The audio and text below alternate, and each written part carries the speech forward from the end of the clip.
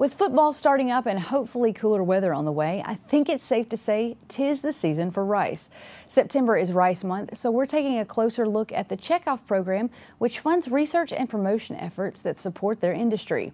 This week, TWILA's Karl Wiggers visits with a farmer in St. Landry Parish who says he would not still be in the business without that program. Just north of Eunice, Michael Frugé is cutting his final fields of rice for this year's crop. Unfortunately, this crop has not been a great one for Frugé to bring in. This is some later rice we planted that we're harvesting now. Uh, we are about to wrap up the season. Uh, unfortunately, it has been one of the worst rice crops we've cut in, in a very long time.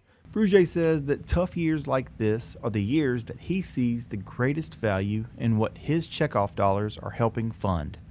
That checkoff dollar is actually pennies the Louisiana rice industry collects a 5 and 3 cent per hundredweight assessment to fund research and promotion efforts, respectively, through the Louisiana Rice Research Board and the Louisiana Rice Promotion Board.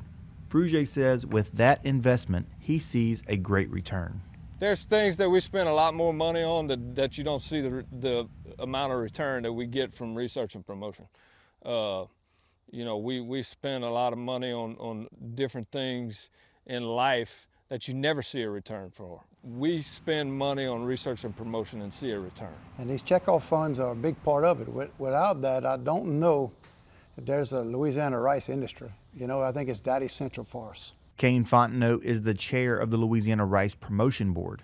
He is part of the volunteer board of rice farmers who is funding projects to promote Louisiana rice to the consumers they are helping to feed the promotion board plays a big part in that. It's as far as educating the people on uh, that we do grow high quality rice, we grow affordable rice, uh, and it's just a matter of communicating it to the people because not everyone knows that. While Frugé has contributed to the checkoff programs throughout his career, he says his eyes were open to the value of that promotion dollar when he started his own packaged rice brand, Parish Rice.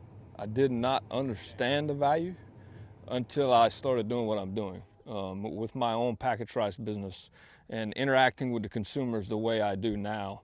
Um, I think those promotion dollars are more valuable than I ever dreamed of. Frugé and Fontenot, as individual farmers, can only do so much. The entire Louisiana rice industry working together is what makes this promotion effort so valuable. Because of what it costs, I could only reach a certain amount of people. If we have this collective coming from our industry, from everyone involved, you could reach a broader geography. You could reach a lot bigger area and a lot more people. You're always stronger as a team, right? The individual can only do so much. So the more we pull together and the more we work as, the more we work as one, it's, uh, it, it creates a lot more strength and a bigger footprint. It helps us all. In St. Landry Parish, I'm Karl Wiggers for This Week in Louisiana Agriculture. To learn more about the Louisiana Rice Promotion Board, head over to our website at twilatv.org. Also, as you plan your dinner tonight, consider making rice a part of it.